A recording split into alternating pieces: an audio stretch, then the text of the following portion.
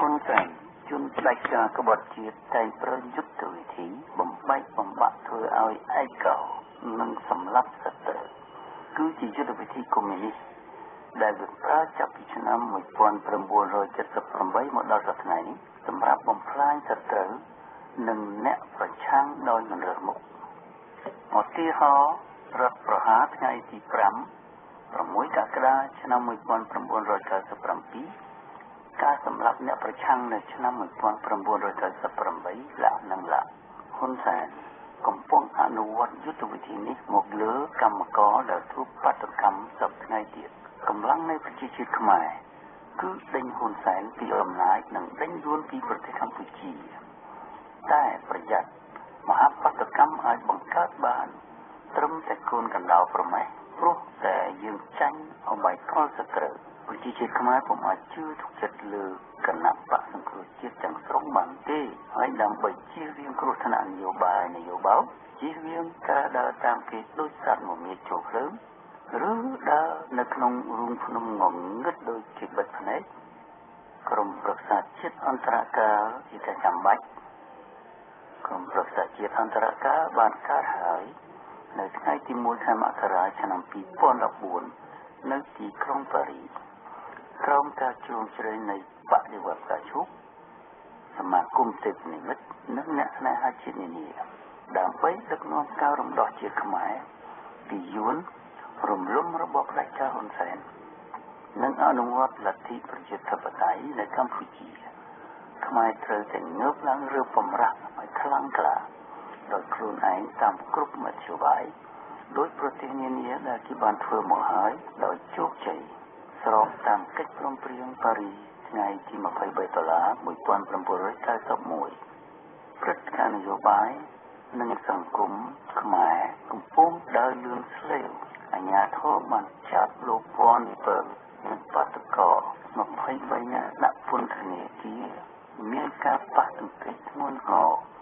រវាងប៉ូលីសនិងកម្មករនៅតាមផ្លូវជាតិលេខ4សខេបានអំពាវនាវឲ្យមានការចរចារវាងបកទាំងពីរជាបាញ់ប្រកាសថាកងទ័ពគុំគ្រោះជាតិសាសនាព្រះមហាក្សត្រការពីរដ្ឋធម្មនុញ្ញរដ្ឋបាលបោះឆ្នោតនិងនាយករដ្ឋមន្ត្រីចៅហ៊ុនសែនមកត្រូវ ខំអន្តរសង្គ្រោះជាតិឈប់ចរចាឬសហការជាមួយរដ្ឋអំណាចដើម្បីឲ្យហ៊ុនសែនចោលក្បត់ជាតិអាយ៉ងយួនរលំរលាយព្រោះសប្តាហ៍ប្រទេសខ្មែរមានរដ្ឋាភិបាលចោលសភាចោលនិងនាយករដ្ឋមន្ត្រីចោលបើប្រជាជាតិខ្មែរក្នុងស្រុកនិងក្រៅស្រុកមានសេចក្តីក្លាហានឧបដិវត្តការឈូកនោះប្រជាជាតិខ្មែរនឹងឈ្នះខ្មែរមិនត្រូវទុកឲ្យក្រុមចៅហ៊ុនសែនជនក្បត់ជាតិបន្តដឹកនាំប្រទេស និងទុកឲ្យយួនធ្វើអាណានិគមនិយមលើស្រុកខ្មែរដោយតែពួកវាបានធ្វើជាង35ឆ្នាំមកហើយនេះទេសូមស្ដាប់សេចក្តីអត្ថាធិប្បាយរបស់លោកពូចលដូចតទៅនេះ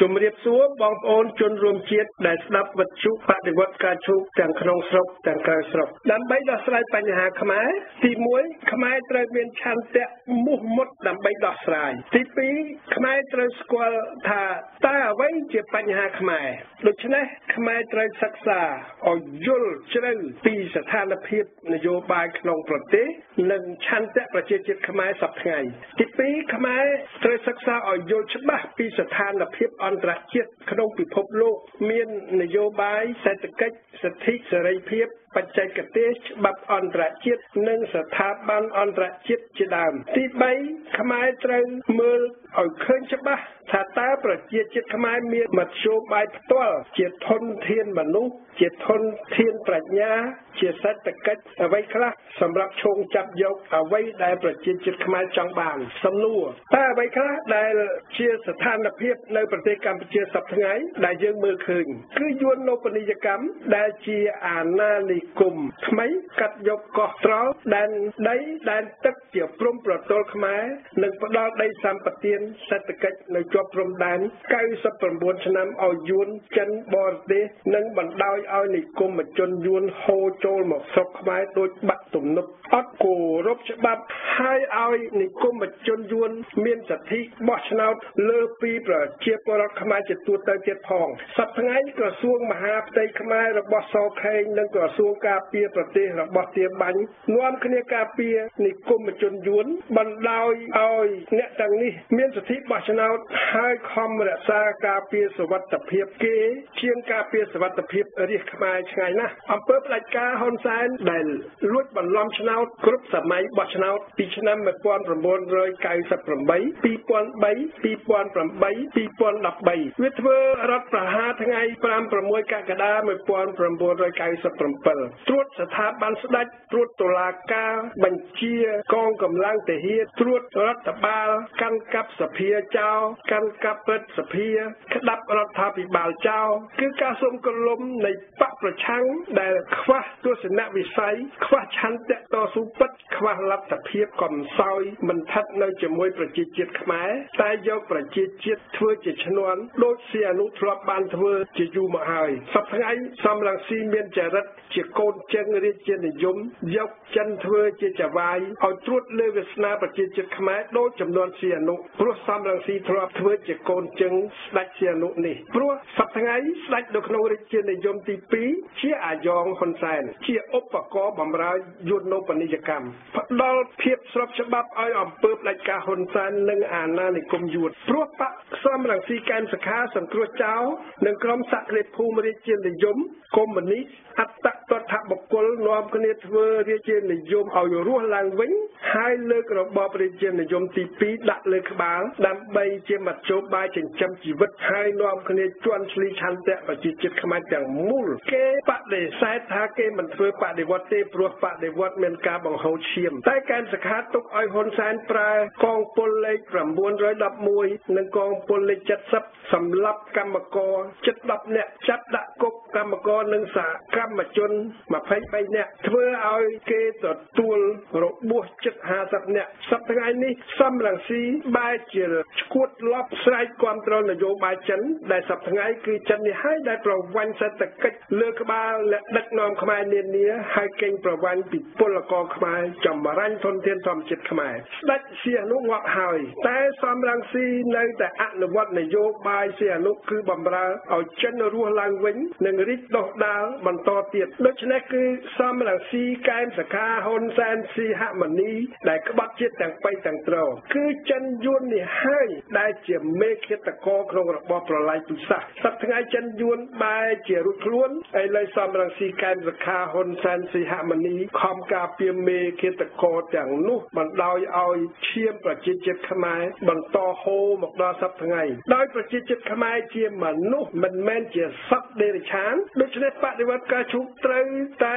ផ្ទុះជាដាច់ខាតរីឯមេដឹកនាំក្បត់ជាតិសត្វដេរឆានសប្តាហ៍ត្រូវតែដួលរលំគ្មានអ្វីដែលកើតទុយពីធម្មជាតិបែបនេះទេអ្វីជាដំណោះស្រាយហ៊ុនសែនប្លន់ក្តោបយក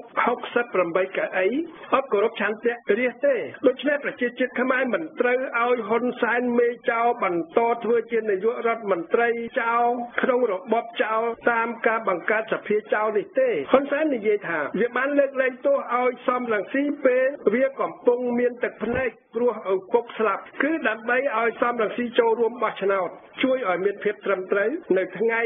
28កក្កដា2013នោះក្រោមការបន្លំនៃកោចបសំរងស៊ីសង្ឃឹមថាបានឡើងកៅអីលើសពីចំនួន29កាលពីលើកមុនហ៊ុនសែនកំណត់ឲ្យតែមិនឲ្យហួសពី50បូក1ទេសំរងស៊ីបានទទួលយក55អាសនៈគេសប្បាយណាស់ដូច្នេះហើយបកប្រឆាំងគេគោរពកិច្ចព្រមព្រៀងដែលលួចលាក់ដែលពុំមែនជាលាយលាក់អសរទេជាមួយហ៊ុនសែនហើយក៏ចាត់ចរចាភ្លាមតាំងពីថ្ងៃ16កញ្ញា2013មកម្លេះព្រមទទួលស្គាល់លទ្ធផលនេះចង់ចូលសភាយក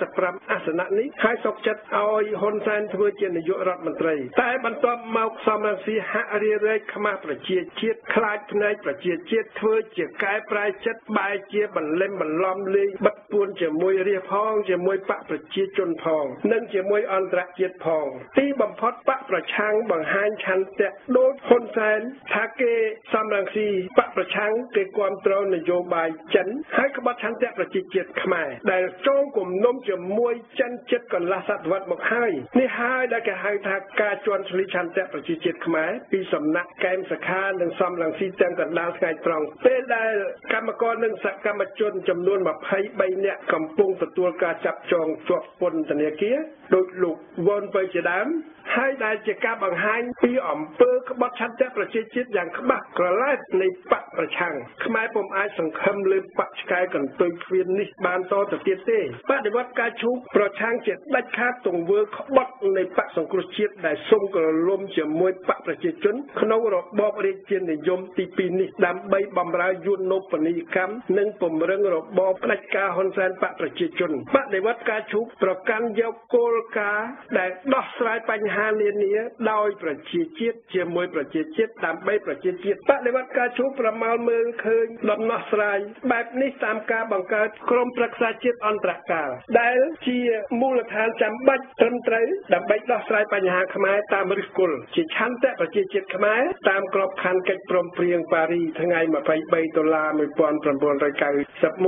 ហើយដែលជាមូលដ្ឋានអន្តរជាតិផងដើម្បីបោះឆ្នោតរើសសភាធម្មនុញ្ញជាថ្មីដើម្បីរើសរដ្ឋធម្មនុញ្ញថ្មី គឺរើសរបបថ្មីព្រោះរបបសពថ្ងៃជារបបចោលក្បត់ជាតិផ្ដាច់ការជន់ឈ្លីកាប់ចិញ្ច្រាំរដ្ឋធម្មនុញ្ញខ្ទេចខ្ទីអស់ហើយដើម្បីកសាងរបបថ្មីសេរីពហុបកប្រជាធិបតេយ្យលើមូលដ្ឋានសេរីភាពនីតិរដ្ឋសម្រាប់ប្រទេសដើម្បីទាមទារឯករាជ្យប្រទេសកម្ពុជាពីយួនតាមឯកសារនានាដែលប្រទេសខ្មែរបានតម្កល់នៅអង្គការសហប្រជាជាតិក្នុងឆ្នាំ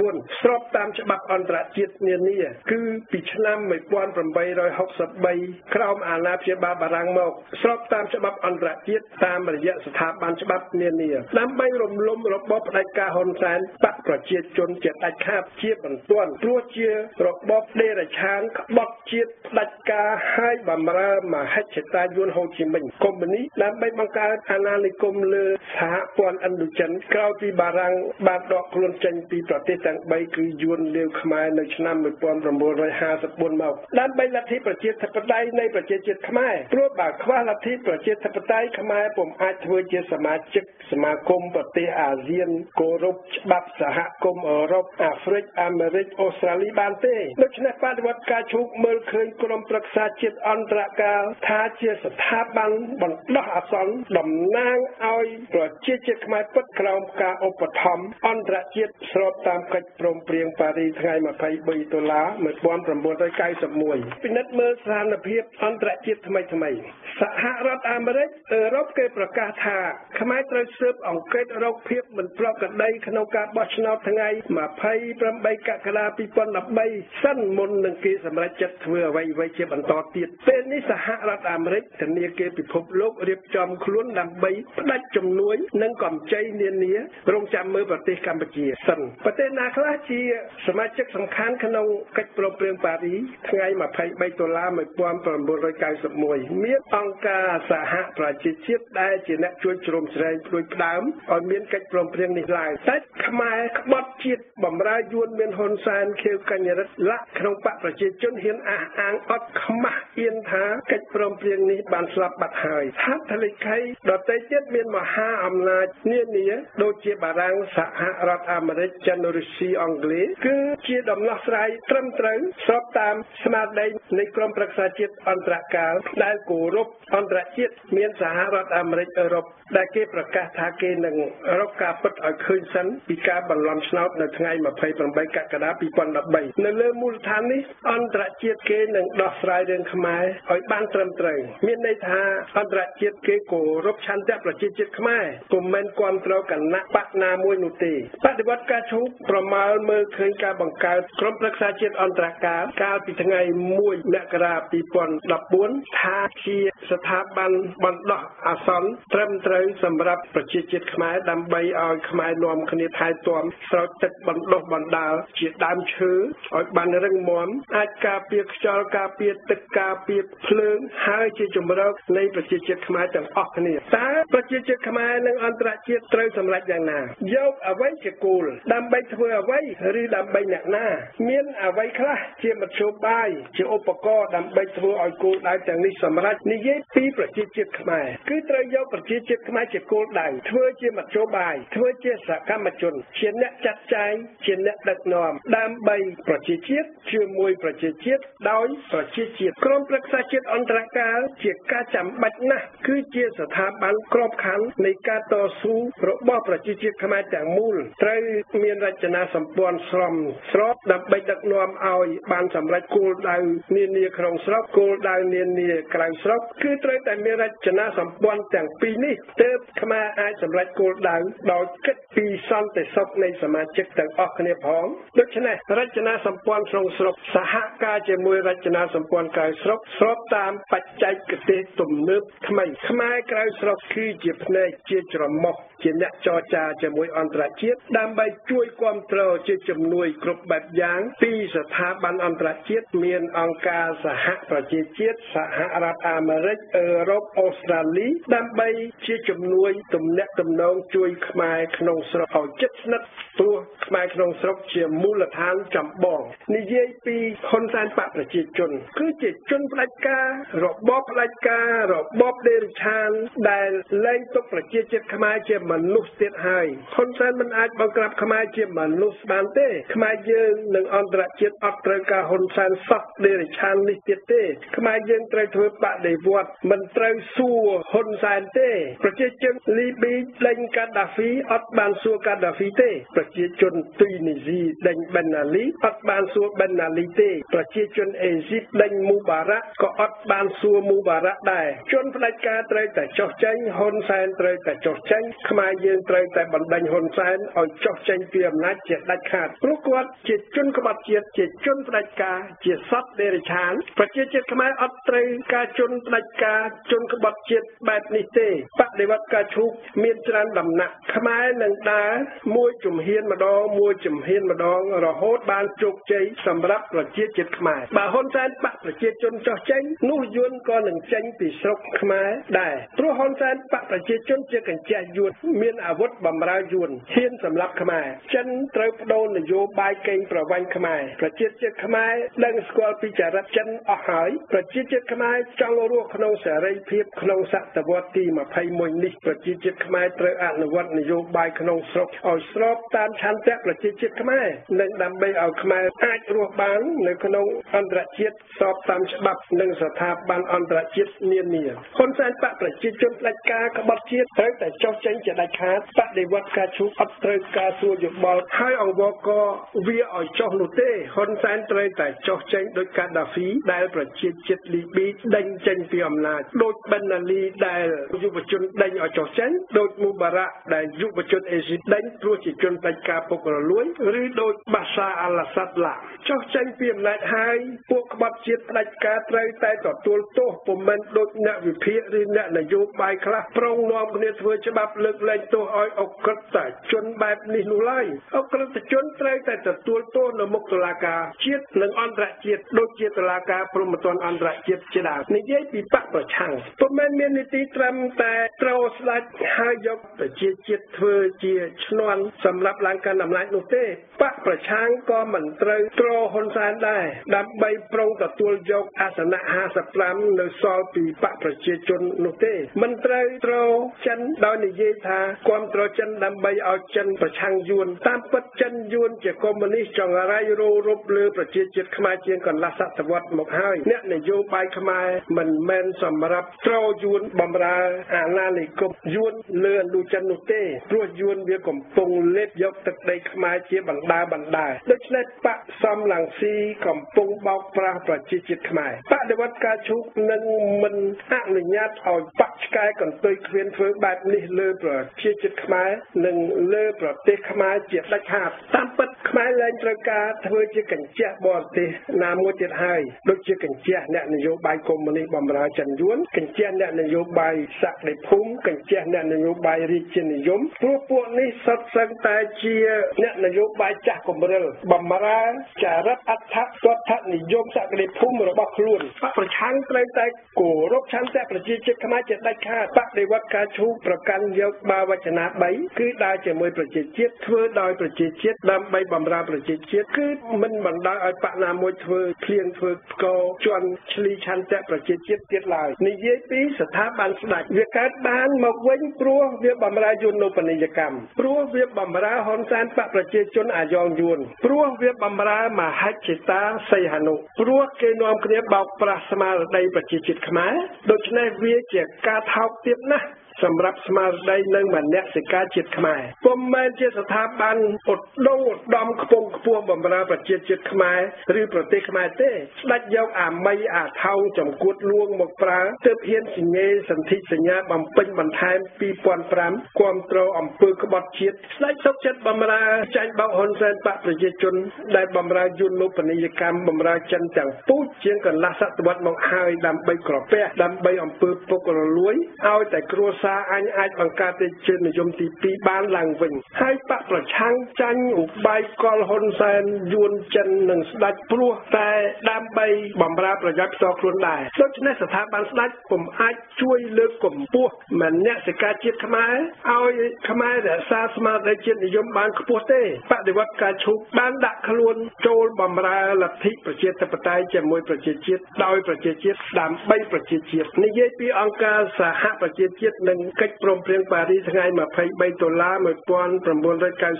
1991គឺជាគ្រឹះនិងមធ្យោបាយសម្រាប់ដោះស្រាយបញ្ហាខ្មែរមាន20ប្រទេសជាហត្ថលេខីមកដល់សប្តាហ៍ថ្ងៃដែលមានមហាអំណាចទាំងអស់ដែលជាសមាជិកអចិន្ត្រៃយ៍នៃក្រុមប្រឹក្សាសន្តិសុខក្នុងអង្គការសហប្រជាជាតិប្រជាជាតិខ្មែរត្រូវយកមហាអំណាចទាំងនេះជាដៃគូក្រោមការដឹកនាំនៃក្រុមប្រឹក្សាជាតិអន្តរកាលប្រជាជាតិខ្មែរទាំងមូលអាចធ្វើប្រជាមតិនៅពេលបោះឆ្នោតជាថ្មីឬរបបថ្មីដោយរើសសភាធម្មនុញ្ញនិងរដ្ឋធម្មនុញ្ញជាថ្មីដើម្បីដេញអាណានិគមយួនដើម្បីបង្កើតនយោបាយបរទេសជាមួយមហាអំណាចនានាដើម្បីធ្វើនយោបាយស្ដីពីសហប្រតិបត្តិការអន្តរជាតិលើមូលដ្ឋានជាប្រយោជន៍នៃប្រទេសខ្មែរដើម្បីអនុវត្តស្មារតីដែលមានចែងក្នុងកិច្ចព្រមព្រៀងប៉ារី23ដុល្លារ1991តាមការបង្កើតក្រុមប្រឹក្សាជាតិអន្តរកាលនៅក្នុងស្រុកនៅក្រៅស្រុកតាមការផ្ដួចផ្ដើមដោយបដិវត្តផ្កាឈូកដើម្បីដឹកនាំនយោបាយគ្រប់ក្រ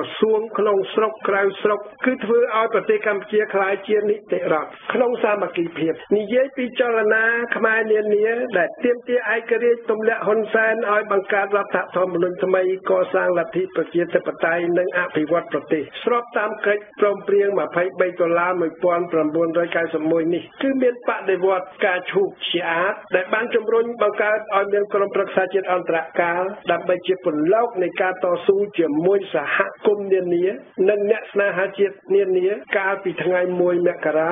2014កន្លងមកនេះបដិវត្តការឈូកបានបង្ហាញគោលដៅច្បាស់ច្បាស់តាមមីឌាតាមវិទ្យុបដិវត្តការឈូកគឺទម្លាក់ហ៊ុនសែនដេញបំផ្លាញយន្តនពនីយកម្មកសាងលទ្ធិប្រជាធិបតេយ្យបង្រួបបង្រួមនិងអនុវត្តឲ្យទូលំទូលាយនៅគោលការណ៍ទាំង3នេះសម្រាប់ជាប្រយោជន៍នៃប្រជាជាតិខ្មែរសមាគមអ្នកប្រជាធិបតេយ្យដែលជាសមាគមតស៊ូមតិនៅក្នុងការនិយាយស្ដីផ្សាយព័ត៌មានរិះគន់មិនប្រណីដៃនៅក្នុងប្រទេសដែលមានលោកមុំសំឡងដូជាអ្នកដឹកនាំវិទ្យុសម្បុកខ្មុំចលនាអំណាចពលរដ្ឋខ្មែរដែលមានមូលដ្ឋាននៅសហរដ្ឋអាមេរិកដែលមានវិទ្យុរបស់ខ្លួន ដែលខ្មែរក្នុងស្រុកក្រៅស្រុកស្គាល់ជាផ្លូវការជាក្រៅផ្លូវការតែដោយមានការលៀបពណ៌ពីគ្រប់ទិសទីទើបចលនានេះហាក់មានភាពស្រពេចស្រពិលមិនច្បាស់លាស់សម្រាប់មតិសាធារណជន យើងសង្ឃឹមថាអនាគតនឹងផ្ដល់សច្ចភាពឲ្យចលនានេះជាមិនខានសមាគមសង្គមស៊ីវិលនានាមានអង្គការសិទ្ធិមនុស្សមានសហជីពកម្មកររបស់លោកជាមនីសហជីពអាជីវករសមាគមអ្នករដ្ឋការសមាគមគ្រូបង្រៀននៃលោករងឈុនសមាគមការពារលំនៅឋាន លោកសៀភិរមសមាគមបង្កក់បរិយាកីឡានិងសេដ្ឋកិច្ចក្រៅប្រព័ន្ធដែលតស៊ូផ្នែកកសង្គមកិច្ចការពារសិទ្ធិសេរីភាពដូចជាអ្នកស្រីទេវនីលោកវ៉ុនពៅប្រធានអង្គការឯករាជ្យសេដ្ឋកិច្ចក្រៅប្រព័ន្ធឡាមានអ្នកស្រែចម្ការខ្មែរគឺ80%នៃប្រជាជាតិខ្មែរគេខំរួមគ្នាការពារដើម្បីផលិតភោគផលក្នុងស្រុកដើម្បីលក់បានចំណេញដើម្បីរកទីផ្សារបន្ថែមលកម្មករគេខំការពារជីវភាពទៀមទាប្រាក់ខែគោលឲ្យបាន160ដុល្លារមួយខែទៀមទាលក្ខខណ្ឌការងារដើម្បីរស់ទល់ជីវភាពលំបាករាល់ថ្ងៃព្រះសង្ឃជាសង្ឃផងជាពលរដ្ឋផងបើពលរដ្ឋរស់គឺព្រះសង្ឃរស់គឺជាតិរស់បើជាតិរស់គឺសាសនារស់សុខសន្តិភាពអាស្រ័យលើសិលធម៌ព្រះពុទ្ធលើឧបាសកឧបាសិកាជាប្រជាជាតិខ្មែរដូច្នេះសាមគ្គីចាំបាច់ណាស់រវាងព្រះសង្ឃនិងក្រហមនិយាយពីអាជីវករគេត្រូវការធនធានសាមគ្គីធម៌នៃពលរដ្ឋគ្រប់ស្រទាប់ដើម្បីទិញក្នុងឋានៈគេជាអតិថិជនទិញរបស់របរទំនិញគ្រប់បែបយ៉ាងបើជីវភាពកម្មករអ្នកស្រែអ្នករដ្ឋការធូរធារល្អនោះជីវភាពអាជីវករអាចឡើងខ្ពស់រស់បានស្រួលធូរធារព្រោះចំណូលនឹងបានឡើងខ្ពស់និយាយពីអ្នករដ្ឋការបើចំណូលរដ្ឋបានច្រើនដោយគ្មានអំពើពុករលួយអ្នករដ្ឋការនឹងបានទទួលបៀវត្សខ្ពស់ដែរដូច្នេះបំបត្តិអំពើពុករលួយគឺបង្កើតនិងពង្រឹងរបបនីតិរដ្ឋឲ្យមាំខ្មែរត្រូវរំលំហ៊ុនសែនបកប្រជាជនរបបផ្ដាច់ការនិងដេញអាណានិគមយួនឲ្យបានជាដាច់ខាតគ្រូបង្រៀនការអប់រំគឺជាវិនិយោគរដ្ឋធំណាស់លើអនាគតយុវជនបើគ្រូគ្មានគុណភាពព្រោះប្រាក់ខែតិចគុណភាពសិស្សនឹងចុះខ្សោយបើសិស្សគ្មានគុណភាពគឺយុវជនគ្មានអនាគតប្រទេសនិងប្រជាជាតិក៏គ្មានអនាគតភ្លឺស្វាងដែរកងកម្លាំងប្រដាប់អាវុធនានាទាហានមន្ត្រីបម្រើបុគ្គលផ្ដាច់ការក្បត់ជាតិហ៊ុនសែនដោយការអះអាងនៃឧត្តមសេនីយ៍ទាបាញ់នោះទេត្រូវបម្រើប្រទេសជាតិនឹងការពារព្រំដែនមិនត្រូវបង្ក្រាបពលរដ្ឋដោយកងពលឆាត់យងលេខ911និងកងពលអង្គរៈហ៊ុនសែនលេខ70នោះទេកងទ័ពត្រូវការពារសន្តិសុខនិងសិទ្ធិពលរដ្ឋប៉ូលីស PM មានមុខងាររក្សាសន្តិសុខជាមួយកងទ័ពដូច្នេះមិនត្រូវប្រើអាវុធខុសទិសដៅទេនគរបាលដើម្បីការពារសន្តិសុខចរាចរណ៍ដែនដីទីក្រុងនិងជនបទពុំមែនដើម្បីមកបង្ក្រាបបាតកម្មដោយអាវុធសម្រាប់ជនស្លូតត្រង់នោះទេសេចក្តីសន្និដ្ឋានបដិវត្តការឈូកត្រូវតែផ្ទុះជាពំរួចហើយក្នុងពេលឆាប់ឆាប់តែគេត្រូវធ្វើដោយប្រយ័ត្នប្រយែងព្រោះបើទុកយូរស្ថានភាពផ្ដាច់ការនឹងសម្លាប់ប្រជាជាតិខ្មែរច្រើនទៀតជាបន្តបន្ទាប់ប្រជាជាតិខ្មែរពុំអាចទុករបបដេរិឆានក្បត់ជាតិបែបនេះឲ្យបន្តគ្រប់គ្រងប្រជាជាតិខ្មែរដែលជាមនុស្សជាតិនោះទេបើពុំនោះទេយុទ្ធនពាណិជ្ជកម្មនឹងចាក់រិះជ្រៅទៅជ្រៅទៅបរទេសចិនយួនកូរ៉េម៉ាហ្វយ៉ាឡាក់នឹងបំផ្លាញធនធានខ្មែរគ្រប់បែបយ៉ាងដើម្បីបម្រើជនអក្រិតគ្រប់ទិសទីប្រទេសកម្ពុជាត្រូវតែទទួលឲ្យបាននៅឯករាជ្យជាបន្ទាន់និងជាដាច់ខាតគ្មានត្រូវការរងចាំទេអត់ឯករាជ្យគឺអត់សេរីភាពដូច្នេះប្រជាជាតិខ្មែរពុំត្រូវដេកអោបដៃមិនរើបំរាស់នោះទេខ្មែរពុំអាចពឹងលើរាជានិយមទី2ឬបកប្រជាជនហ៊ុនសែនបានទេប្រជាជាតិខ្មែរត្រូវពឹងលើប្រជាជាតិខ្មែរប្រជាជាតិខ្មែរត្រូវនាំគ្នាធ្វើបដិវត្តការឈូកងើបគ្រប់ទិសទីដោយអហិង្សាតែត្រូវមានអ្វីសម្រាប់ការពារខ្លួនពេលសត្រូវប៉ងសម្លាប់យើងព្រោះប្រជាជាតិនិងប្រទេសកម្ពុជាត្រូវតែទទួលបានសេរីភាពជាបន្ទាន់យើងពុំត្រូវរងចាំចាប់អាណត្តិទី5នៃសភាចៅគឺរហូតដល់ដាច់ឆ្នាំ2018នោះទេមិនត្រូវចាញ់បោករបបចៅដែលគៀងកឲ្យបកប្រឆាំងចូលសភាចៅទទួលស្គាល់រដ្ឋាភិបាលចៅនាយករដ្ឋមន្ត្រីចៅហើយបោកបញ្ឆោតថាគេនឹងដូរកោជបនោះទេប្រទេសកម្ពុជាត្រូវតែទទួលបានលទ្ធិប្រជាធិបតេយ្យជាដាច់ខាតនិងជាបន្ទាន់ពេលណាអន្តរជាតិគេរកឃើញការលួចបន្លំឆ្នោតនោះប្រជាជាតិខ្មែរនឹងឃើញពីប្រតិកម្មពីសំណាក់អន្តរជាតិលើរបបក្បត់ជាតិហ៊ុនសែនបកប្រជាជននេះហើយខ្មែរត្រូវតែមានសិទ្ធិបោះឆ្នោតឡើងវិញរើសរបបថ្មីរើសរដ្ឋធម្មនុញ្ញទាមទារយកឯករាជ្យតាមរយៈក្រមប្រឹក្សាជាតិអន្តរកាលដែលជាតំណាងពិតនៃឆន្ទៈប្រជាជាតិជាបណ្ដោះអាសន្នបើហ៊ុនសែនបកប្រជាជនបង្ក្រាបខ្មែរខ្លាំងឡើងខ្លាំងឡើងនោះប្រជាជាតិខ្មែរនឹងរើបំរាស់បះបោតវ៉ាការពារខ្លួនខ្លាំងខ្លាឡើងខ្លាំងខ្លាំងឡើងនឹងឆាប់ឆាប់ជាបន្ទាន់ប្រជាជាតិខ្មែរត្រូវតែទទួលបានជ័យជំនះជាដាច់ខាតតាមគ្រប់មធ្យោបាយជនក្បត់ជាតិត្រូវតែដួលរលំអាណានិគមយួននៅស្រុកខ្មែរត្រូវតែរលាយបដិវត្តការឈូកនឹងផ្ទុះខ្លាំងឡើងខ្លាំងឡើងដើម្បីដណ្ដើមយកជ័យជំនះនៅទីបញ្ចប់ជាមួយប្រជាជាតិដោយប្រជាជាតិដើម្បីដើម្បីប្រជាជាតិគឺតាមរយៈក្រមប្រឹក្សាជាតិអន្តរកាលដែលជាកត្តាបង្រួបបង្រួមឧត្តមឧត្តមដើម្បីសាមគ្គីភាពនៃប្រជាជាតិខ្មែរទាំងមូលនិងដើម្បីដឹកនាំបដិវត្តការឈូកឲ្យបម្រើប្រជាជាតិខ្មែរគោរពគោលដៅដ៏ឧត្តមឧត្តមទាំង3ដូច្នេះការនាំគ្នាងើបធ្វើបដិវត្តការឈូកគឺជាករណីយកិច្ចរបស់ខ្មែរគ្រប់គ្រប់រូបគឺយើងធ្វើជាមួយអន្តរជាតិក្នុងក្របខ័ណ្ឌកិច្ចព្រមព្រៀងប៉ារីសថ្ងៃ23ដុល្លារ1991ជាមួយប្រទេសនានាមានប្រទេសទាំង28ក្នុងសហគមន៍អឺរ៉ុបមានប្រទេសមហាអំណាចក្នុងលោកគឺសហរដ្ឋអាមេរិកបារាំងចិនអង់គ្លេសរុស្ស៊ីដែលជាសមាជិកអចិន្ត្រៃយ៍នៃក្រុមប្រឹក្សាសន្តិសុខនៃអង្គការសហប្រជាជាតិប្រទេសយួនត្រូវតែគោរពបូរណភាពទឹកដីខ្មែរឯករាជ្យប្រទេសខ្មែរយើងទើបយួននិងខ្មែរអាចរស់ជាអ្នកចិត្តខាងដ៏ល្អបានទៅអនាគតបដិវត្តការឈូកនិងក្រុមប្រឹក្សាជាតិអន្តរកាលមាននាទីដឹកនាំបម្រើខ្មែរឲ្យបានឯករាជ្យបរិបូរណ៍រំលំរបបផ្ដាច់ការដើម្បីសេរីភាពនិងអនុវត្តលទ្ធិប្រជាធិបតេយ្យក្នុងសន្តិភាពនៅក្នុងតំបន់អាស៊ានពុំនោះទេសង្គ្រាមនឹងអាចបង្ហូរឈាមជាថ្មីព្រោះតែចក្រពត្តិនិយមយួននិងរបបផ្ដាច់ការហ៊ុនសែនបកប្រជាជនជ័យយកបដិវត្តការឈូកជ័យយកក្រុមប្រឹក្សាជាតិអន្តរកាលជ័យយកកិច្ចព្រមព្រៀងប៉ារីថ្ងៃ23ដុល្លារ1991ជំរាបលាបងប្អូនជនរួមជាតិដែលស្ដាប់វិទ្យុបដិវត្តការឈូកទាំងក្នុងស្រុកទាំងក្រៅស្រុកសូមអរគុណ